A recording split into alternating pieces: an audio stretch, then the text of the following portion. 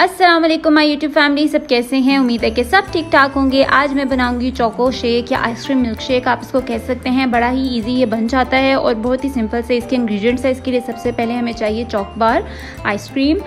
एक इस हमने लेनी है दो ओरियो के बिस्किट्स इसमें ऐड करने हैं